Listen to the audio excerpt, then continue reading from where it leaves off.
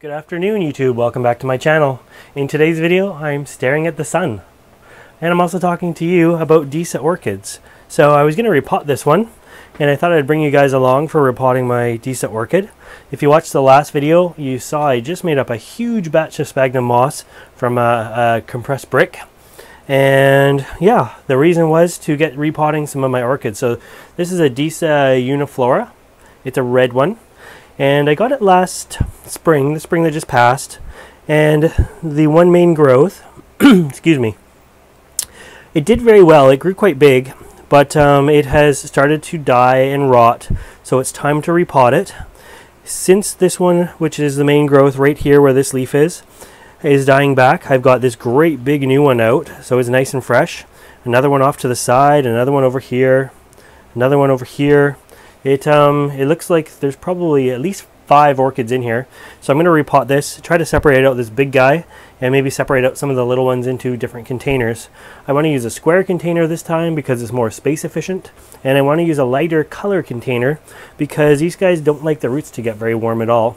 So um, I've got some media ready, but what we're going to do is let's let's come down and we will unpot this guy together.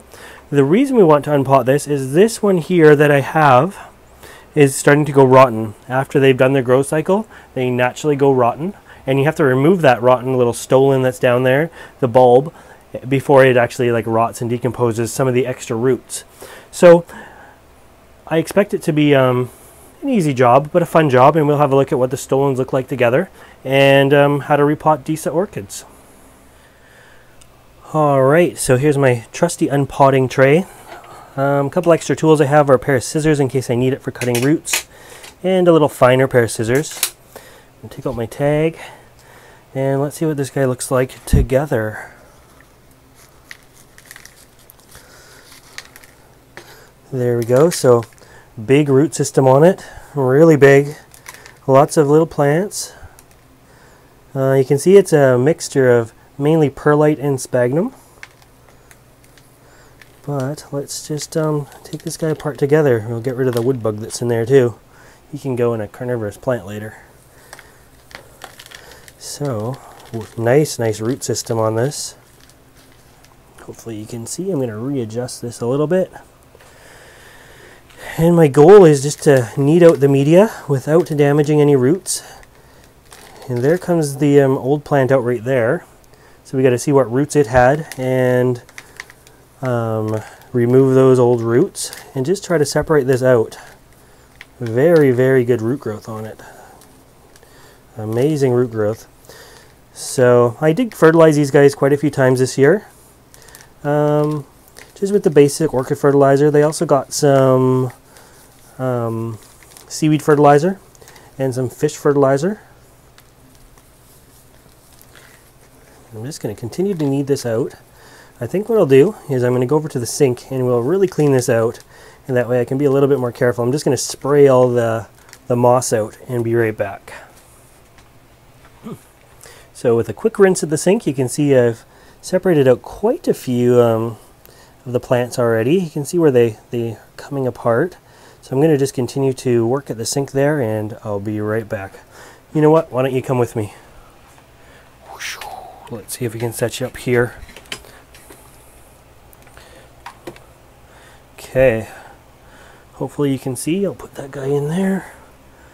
Lift you up a little bit.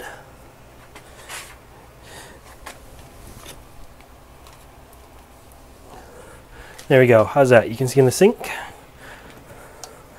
And I've just been using the shower mode to clean out some of the debris. Comes out quite easily with the sink.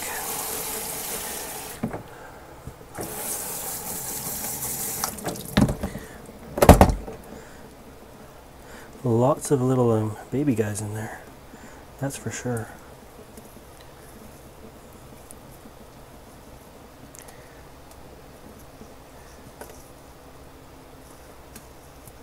I think I'll give it a good blast. Let's turn this to jet, but we'll turn it down a bit.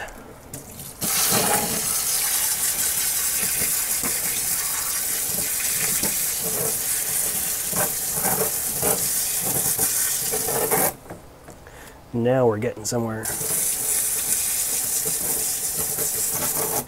I like the sink because it's tough on media but easy on roots.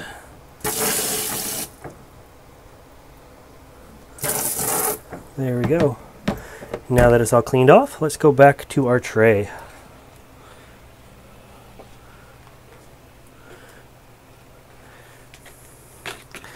Okay, so here's what we're left with. There's um, a nice division right here, so we might as well snip that guy off. I'll leave a bunch of roots with it, just like so. Now, I thought we had another division. Maybe it's left in the sink. Oh, we did. We left a nice one in the sink here. So there's a nice another division. And all of these guys, this sort of size, should be planted up separately. Here is my main plant. You can see the big stolon on that one. And I'm just looking at where the other little one came from. I don't see much of anything there at all. Nothing at all there. So there's a good shot of the Disa roots. And a few other stolons are developing. You can see one's going to come out right here. And yeah, there's a few more. So this is what we're going to repot today. And I don't know if I can get this little guy off. That one's kind of attached to it. It's already got another one coming up. But what we'll do is we'll switch out the trays and repot these guys together.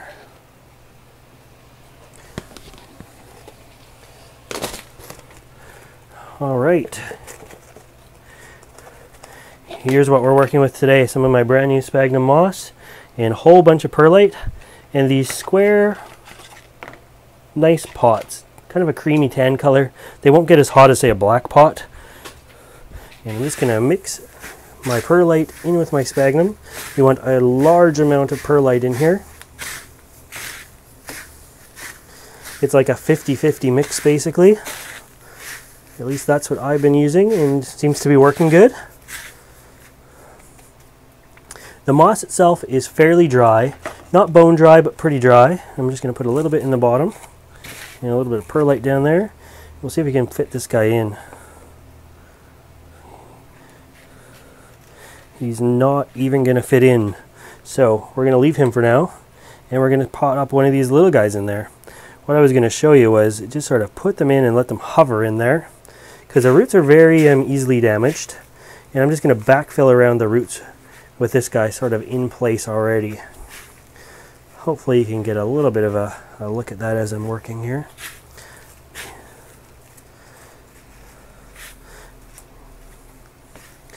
And then after we're done this, you make sure you write up a tag for the new division and put the date on the tag that um, you repotted it.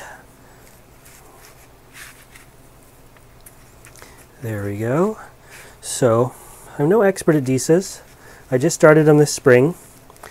I'm afraid I haven't got one to flower yet, but um, it's because in the spring I started with something uh, smaller than this anyways. So I'm hoping that big one that we're going to have to repot is going to be blooming size and will bloom for me soon anyways. There's one repotted. The only thing this is going to be missing now is a good drink of water. Here is the next one going to be repotted. So I just backfill a little bit there. And notice how I'm really I'm not touching the roots much, much at all. And I just want to backfill around the roots. And let the media sort of flow in between the roots. That way the roots almost get frozen where they are. Not compressed down. There's media below them already, media above them. Piece of something in my moss. There we go. And what I'm going to do now is stop the camera go find an appropriate pot for our big one and repot that guy up. I'll grab some more moss while I'm out there because we seem to have used up all the moss anyways. And we'll go from there. Alright, I'm back. I found a bigger pot. It's not square, so there goes my um, theory of white or of square pots, but at least it's white, so that's good. And so here's our main plant. And I will say, you know, thinking about it while I was off camera, I'm a little disappointed that um, the stolon that we had to remove wasn't so big and obvious. I um, did a repot earlier today on my other one, and there was clearly a, a stolon, not this big, that, that root there is pretty big, but that was dead and black and I had to sort of pick it off with the roots that were attached. I'm not sure if the one that got planted up for me because I just got that one in the spring didn't have a stolon to start with, it just had some roots. But I was hoping to show you guys that. So we'll have to um, look at it again. Maybe next year we'll repot them again and go from there. Um, another thing I noticed, you can see the roots here. They're sort of a cream color. And you can see the runners that are a white color that are producing new plantlets as well that will hopefully grow stolons. So there's two more on there that are growing. And we removed two. So there was a total of four plantlets on there. This one coming right off the base here as well. Doesn't even have a uh, runner. But anyways, just sort of interesting observation. I grabbed some more moss while we were, well, the camera was off as well to go in the bigger pot. It's still nice and dry. I'm going to just fill it up a little bit in there first and then set my plant in there. And I think this will, um, with this will plant up nicely in there. The roots just sit so perfectly in this pot. So that's good. And we'll just backfill, making sure we get right into the center of the root ball there. Just going to poke it around a little. But I love the way the roots just sort of float and you just backfill around them.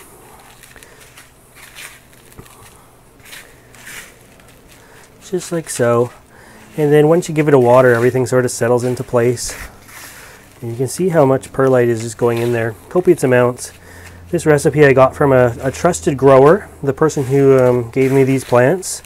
And it definitely, you know, starting with two plantlets, and one of the plantlets isn't here on the table so this one plantlet I started with of this kind has produced this good size one we're repotting now two smaller ones and as you could see from the the runners two smaller runners as well so there we go but anyways that looks pretty good you know I'll give it a bit of a water and make sure it's stable these guys here I watered while the camera was off so you can see what they look like since transplanting. Not too bad. There's one. There's the other. And here's my new main plant. So lots of room for roots, lots of room to grow. This guy's certainly blooming size at this point, so hopefully we get a bloom off of him before he um, starts to fade himself. And anyways, that is repotting Disa orchids. My first time repotting Disa orchids. Well, other than today, I'll show you this one too. I repotted this guy earlier today. This was the one that had the um, the rotten stolon on it that I actually had to remove, which would have been more of a show for you guys, but I didn't know that this pot full of them wasn't going to have that. So, I hope you like this video, and if you want to see more videos like this, updates on these Disas and everything else I grow, make sure you subscribe to my channel. As always, thanks for watching.